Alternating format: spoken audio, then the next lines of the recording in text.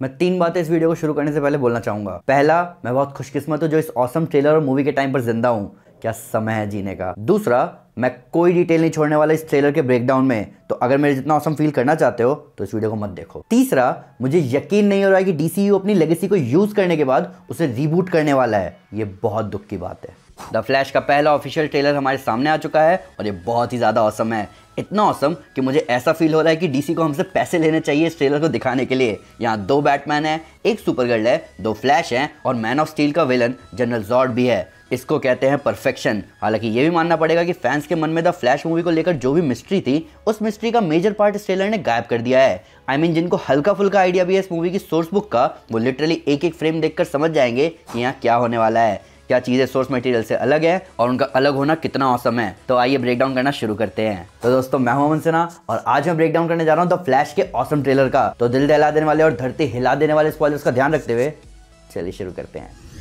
तो पिछले कई महीनों से वार्नर ब्रोस में हलचल चल रही है। एक अजीब सा रिबूट होने वाला है, जो कि ब्लैंकेट रिबूट नहीं होगा। एजरा मिलर के कारनामों के बाद भी उनसे प्यार से पेश आया जा रहा है और जैक स्नाइडर और हेनरी कैविल जैसे पैशनेट लोगों को साइडलाइन किया जा रहा है। अब समझ आया ऐसा क्यों हो रहा है? ये ट्रेलर हंड्रेड परसेंट कन्फर्म कर चुका है की द फ्लैश बहुत औसम होने वाली है। तो पहले मैं जल्दी से आपको इसकी सोर्स स्टोरी बता देता हूँ। हम सबको पता है बैरी टाइम ट्रेवल कर सकता है, वो टाइम में पीछे जाकर अपनी माँ को बचाना चाहता है क्योंकि इससे उसकी माँ तो ज़िंदा रहेगी ही, पर उसके पिता भी जेल नहीं जाएँगे, जिनको पुलिस ने बैरी की माँ नॉरा एलन के डेथ के लिए उठा लिया। तो बैरी टाइम ट्रेवल करता है, अपनी माँ को बचाता है, पर इस वजह से लिटरली प्रेजेंट में सब कुछ बदल जाता है, और इसका रिज़ल्ट है Flashpoint Paradox Bruce Wayne Batman नहीं होता, सुपरमैन दुनिया के सामने नहीं आता और एक्वामैन और वंडर वुमन के बीच में वर्ल्ड वॉर हो रही होती है। कोई जस्टिस लीग नहीं है इवन फ्लैश के पास भी उसकी पावर्स नहीं आई। पर यहाँ वो सब नहीं हो रहा जो बुक में हुआ, और इसका बहुत सेंस बनता है। डीसी डीसीयू की ही जर्नी यूज़ कर रहा है स्टोरी का सेंस बनाने के लिए, जो कि बहुत अच्छी बात है। पर यहाँ बदला क्या? पहले ये देखते हैं कि क्या नहीं बदला। फ्लैश टाइम में पीछे जा रहा है।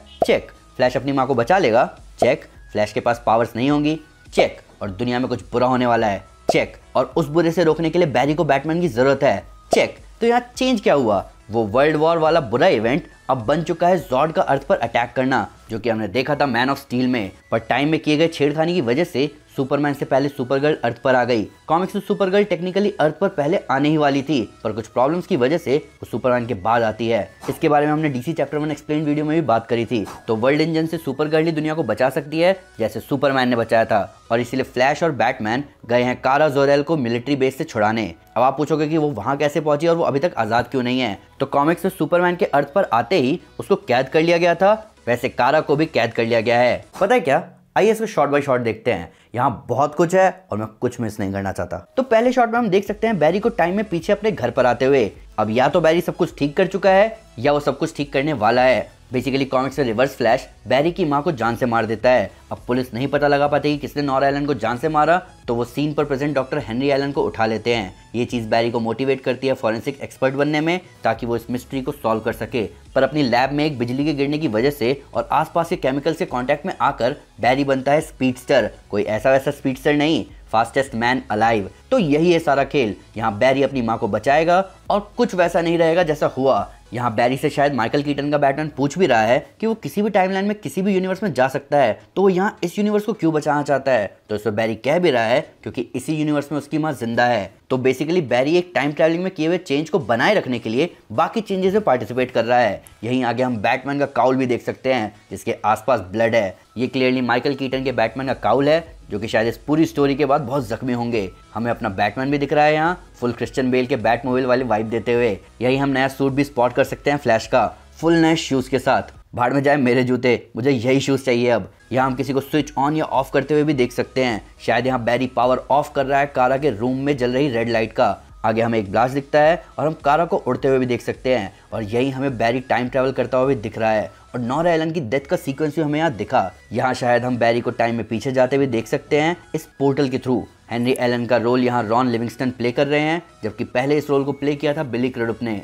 टाइटल कार्ड के बाद हम शायद बैरी को वापस अपने टाइम में आते हुए देख रहे हैं, क्योंकि यहाँ वेदर तुरंत चेंज हो रहा है और दिन रात में बदल रहा है। यहाँ वो फ़ोटोज़ में देख सकता है कि उसकी माँ ज़िंदा है और उसकी फैमिली खुश है और वो अपनी माँ से भी मिल रहा है। प्लस वो मिल रहा है अपने इस यूनिवर्स के वर्जन से। अब ये अजीब बात है, क्योंकि कॉमिक्स में जब बैरी एलन टाइम में पीछे आता है, तब उसका कोई दूसरा वर्जन नहीं होता, बल्कि वो खुद अपनी जगह आता है। जबकि यहाँ डीसी मार्वल के वेरिएंट्स वाला कॉन्सेप्ट यूज़ कर रहा है। प्लस यहाँ इस टाइमलाइन में बैरी के कपड़ों को देखकर रिवर्स फ्लैश वाली वाइब भी आ रही है। और यही है अकेली मिस्ट्री इस मूवी को लेकर कि रिवर्स फ्लैश यहाँ कौन है? बैरी दूसरे बैरी को देखकर हैरान है और होगा भी क्यों नहीं? पहली बात तो खुद एजरा मिलर भी एजरा मिलर से डरता है। दूसरी बात, अगर मुझे मेरा एक और वर्जन देखा तो मैं इतना तेज भागूँगा कि फ्लैश मुझे नहीं पकड़ पाएगा। तो दूसरा बैरी फ्लैश को ले गया वेन मैनर में, जहाँ ऑब्वियसली उसे पता है कि बैटमैन रहता है और अगर यहाँ कोई उसकी हेल्प कर सकता है तो वो वही है। अब बैटमैन से मिलने से पहले इस सीन की बात करते हैं। तो क्योंकि बैरी ने सब चेंज कर दिया है तो उसके पास उसकी पावर्स नहीं है। और अगर उसके पास उसकी पावर्स नहीं है तो टाइम में पीछे जाकर वापस चीज़ों को चेंज नहीं कर सकता। तो अपनी पावर्स पाने के लिए उसे क्या करना होगा? उसे वही माहौल दोबारा बनाना होगा, जिस माहौल में उसे उसकी पावर्स मिली। इसीलिए यहाँ बैरी को झटका लग रहा है, और वो झटका या कहें बोल्ट पहुँचाने में बैटमैन का बैट मोबाइल उसकी हेल्प कर रहा है। पर सोचने वाली बात यहाँ ये है कि इसी बोल्ट से दोनों बैरी सुपर पावर्स गेन कर रहे हैं। प्लस कॉमिक्स में तो पहले झटके में बैरी को पावर्स मिली भी नहीं, जिसके लिए उसे दोबारा अपने ऊपर बिजली गिरवानी पड़ी। और यहाँ बैरी की शक्ल देखकर ऐसा लग भी रहा है कि वो दूसरी बार बिजली का झटका ले रहा है। इसके बाद हम देख सकते हैं फ्लैश की आइकॉनिक रिंग कॉमिक्स में फ्लैश को जब भी तुरंत अपने कपड़े चेंज करने होते थे सुपर हीरो बनने के लिए तो वो अपनी रिंग से अपना सूट निकाल कर उसे पहनता था। मतलब फ्लैश लाइट की स्पीड से आपके आगे कपड़े बदल रहा है, और मोस्ट प्रोबेबली सुपरमैन उसको ऐसा करते हुए देख सकता है। हे राम। तो यहाँ रिंग में कपड़े दबे हुए हैं और जो मुड़े हुए हिस्से हैं, वही फ्लैश को लाइटनिंग इफ़ेक्ट दे रहे हैं। ये बहुत कूल है। अब यहाँ बैकग्राउंड में बेन एफ्लेक का ब्रूस वेन बैरी को समझा रहा है कि टाइम के साथ छेड़खानी खतरनाक है, पर बैरी कहाँ किसी की सुनता है? वो तो पुलिस की भी नहीं सुनता। तभी तो इतनी प्रॉब्लम है। अब दूसरी दुनिया में हम देखते हैं जॉर्ड को अर्थ पर अटैक करते हुए।